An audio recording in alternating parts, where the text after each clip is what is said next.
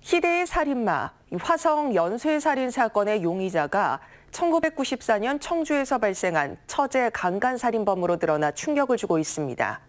당시 19살이었던 처제를 집으로 불러 성폭행하고 살해한 끔찍한 사건으로 범행 수법 또한 유사한 것으로 알려졌습니다. 진기훈 기자입니다.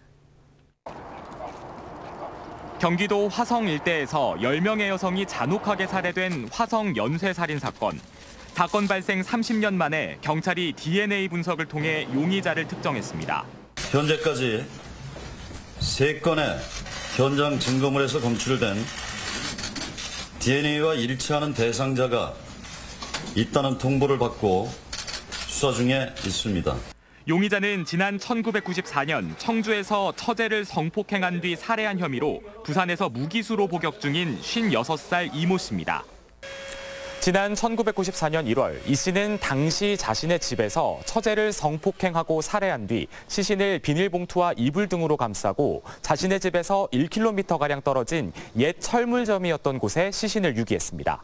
그 파란 포장에 덮여 있는 거는 항상 그 집에 이렇게 다닐 때 거기 대문 안에 그거 있는 것만 봐서 아, 그 포장 속에 있었다고 수채가 19살 처제의 머리를 둔기로 네 차례나 내려친 뒤 목을 졸라 살해했고 스타킹과 끈, 속옷으로 시신이 묶여 있었던 점 등이 화성 연쇄살인 사건의 범행 수법과 비슷했지만 당시 경찰은 청주 처제 살인 사건과의 연관성을 찾아내진 못했습니다.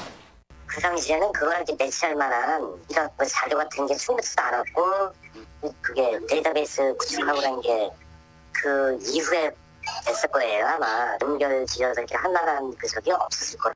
당시 1, 2심 재판부가 사형을 선고했으나 결국 무기징역형을 선고받은 이 씨는 현재 화성 연쇄살인 사건과의 연관성을 부인하고 있는 가운데 1급 모범수로 복역 중입니다.